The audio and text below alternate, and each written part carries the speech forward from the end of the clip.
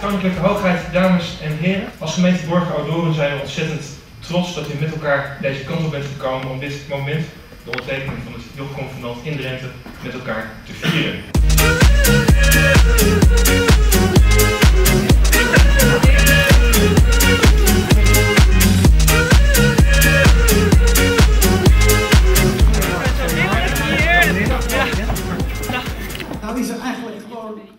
Één opdracht met elkaar. En dat is dat we, we moeten dit onthullen. Oké. Oké hoor. Oh, wat staat er nou?